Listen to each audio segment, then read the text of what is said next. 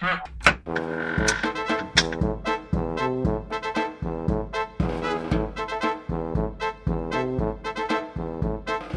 Kim jest właściwie Piotr Celeban? Często niepotrzebny lans, y, jak to się mówi, a że tutaj fryzura nowa, tu buciki. Y, Ale przychodzę na trening, chwilę tam porozmawiam, czasami się napiję kawy. Dokładnie, dokładnie. Nie założę głowy na ten, nogi na głowę.